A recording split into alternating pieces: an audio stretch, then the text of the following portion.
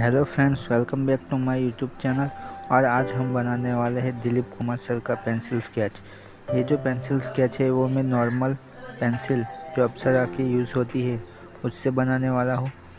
और ये जो स्केच है, वो मैं न्यूज़पेपर में उनका एक जो फ़ोटो है, उसमें देख के बनाने वाला हूँ। तो वीडियो को पूरा देखें और चैनल पर नए हो तो सब्सक्राइब कर दीजिए।